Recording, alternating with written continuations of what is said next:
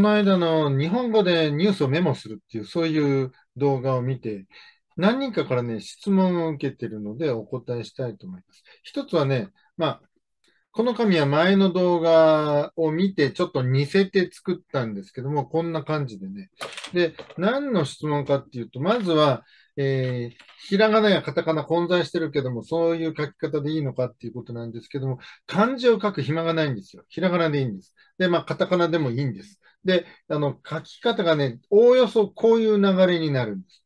で、えー、これがね、人間の手のこう物理的なこう動きとして、こう、自然にこういう流れになるんですね。真横に書くっていうのはちょっと苦しい動きになるんです。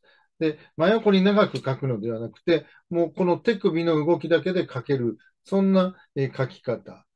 英語の通訳の訓練などに参加したときに、こういう書き方を習いました。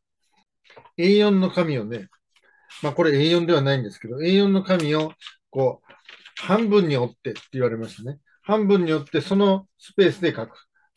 まあこんな感じなんですね。で、基本ひらがなって言われました。でもまあカタカナが混じってもいいし、場合によってはハングルが混じってもいいと思います。で、えここはまあ、えー、天文カレンダーで天は漢字で書いてますけども、こういうのは、混在していいんですよ。だから、どんな書き方でもいい。ただ単純で、いや素早く書けるっていう、それが大事なんですね。これ見ても、まあ、えー、なんか再現できますよね。えー、何でしたっけ？紀元前からアメリカ大陸で栄えたマヤ文明の遺跡から1200年前の、えー、最古の天文カレンダーが発見されました。のような内容ですよね。だからね、メモがあれば再現できる。で、そういう自分が再現できる最低限の分量のメモを素早く取る。ものすごく早いですよね。素早く取る練習を皆さん普段から心がけてみてください。